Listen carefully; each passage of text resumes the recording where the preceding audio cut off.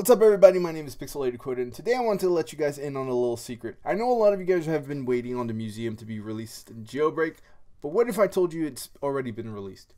Apparently it's been leaked on Roblox already under a different name. The Jailbreak Museum has been leaked on a game called Jailbreak Leaks with museum and car in parentheses. Uh, I'll try to drop a link for the game in the description if you guys want to try to check out the museum ahead of time before everybody else. So really quickly, I wanted to show you guys a quick walkthrough of the museum. It's a couple steps behind what we saw in badcc's trailer with like all the glowing lights and stuff.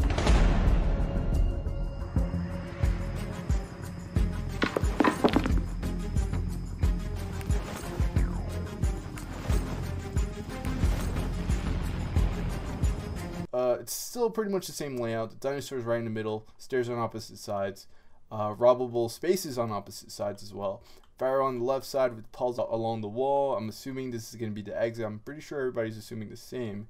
Empty space down here. I'm going to be. I know it's going to be probably a rob another robbable space. I think that's safe enough to say. Um, on the opposite side is the jewel.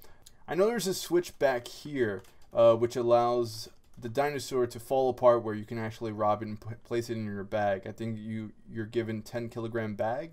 I'm not sure if there's going to be an upgrade where you can make probably make that 15 or 20. I can definitely see that happening. Uh, but that's pretty much it, guys. Hopefully you guys enjoyed. If you think your friend might want to watch this, feel free to let them know. Um, you guys still have a day to sort of mess around and look around the museum for the most part. Uh, feel free to take a look. I'll leave the link in the description. And hopefully you guys enjoyed. Hopefully you guys actually end up going here yourselves before the uh, update is actually released. And hopefully you guys enjoy. Take care, guys, and peace.